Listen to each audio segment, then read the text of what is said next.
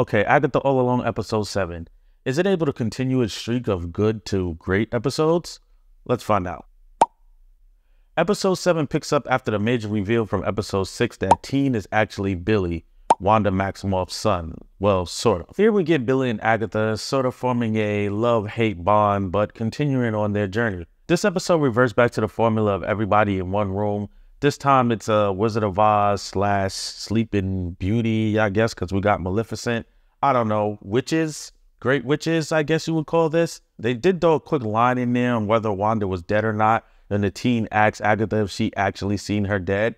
And the answer was kind of not certain. So I guess they're leaving that open to we might see Wanda appear somewhere one day again. As I guessed in the last review that Lillian and Jen probably aren't dead, we got confirmation here. They are back and surprised they're not dead. I guess we kind of all seen that coming. And they eventually join back up with Teen and Agatha to finish the trial, which they think is Billy's trial, but it actually turns out to be Lillian's trial. And once again, this is where the writing really shines through here in this show. They managed to build a good story with the limited characters and locations that they actually use. This episode is partially told from Lillian's perspective as she experiences time out of order. And we kind of see what it's like being her with the scenes flipping back and forth. And we also get to see some of the random outbursts from all of the episodes this season weren't really random, that they actually played a part in the story. And I think this was really good writing on the writer's part some of the things that she said and did had to do with things that were going to happen or already happened. And it all made sense when it's played in her perspective. And overall, I think this played out really well. It wasn't one of those episodes where they treat the audience as if we're dumb or we need everything so thoroughly explained because we can't follow.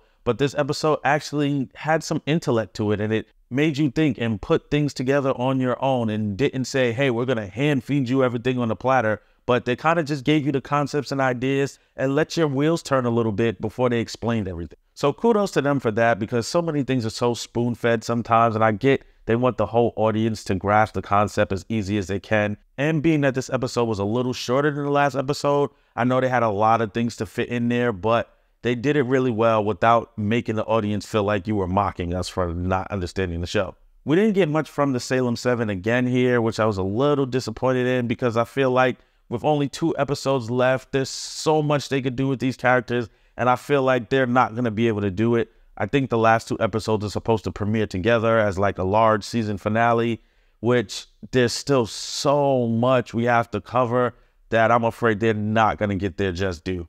And being how their characters are really tied to Agatha and probably not that popular, I don't know if we're going to see them outside of this series. And these Disney Plus shows don't really get direct season twos. I just hope they bring them out a little more and show us more of the Salem 7. There's a lot of potential there. One of the reasons that I say we're probably not going to get much out of them is because they are still at this point introducing and revealing giant things. Like they dropped a giant reveal on us. If you haven't seen the episode, I hope you've seen it because you come in here watching this review. Obviously, there's spoilers, but here it goes. Rio, Aubrey Plaza's character, is none other than Death Yes, they revealed death in this episode, which is a pretty big character, a lot of relation to Thanos and things like that. I hope we get to see him pop back up somewhere one day, one time.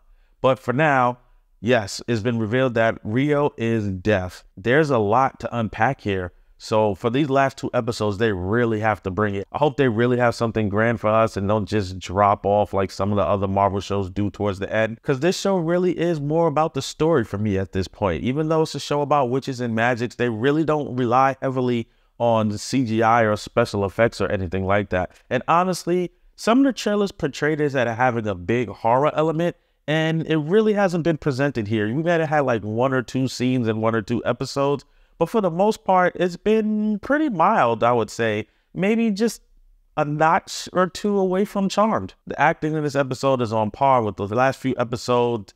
Pretty amazing. Everyone is still believable. It's still great. I'm still in tune. I'm waiting for the last two episodes. I can't wait to the premiere. Um, so far this this is in the top three of my favorite Marvel TV shows. I know to some people that might not mean a lot, but that's something, especially being based on a D-list character. What do you guys think? Do you guys think they're gonna be able to pull all of this off in two episodes? Do you think we're gonna get a significant ending to the Salem Seven and Death and Billy's story arc? Where do you think it's going to end? How do you think it's going to turn out? Let me know in the comments or let me know if you're going to be watching the season finale or if you even care anymore. That's my review. Wasn't much to say about this episode, and that's that. See you guys next time.